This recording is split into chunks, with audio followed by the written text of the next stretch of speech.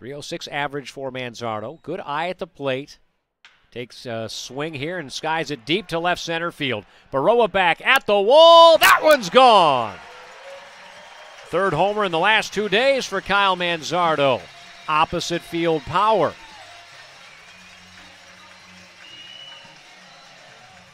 That's a pitch that was on the inner half of the plate. Dropped the head of the bat down on there and punched it to left center field to the Scotts Lawn area. The Clippers are on the board here. It's two to one.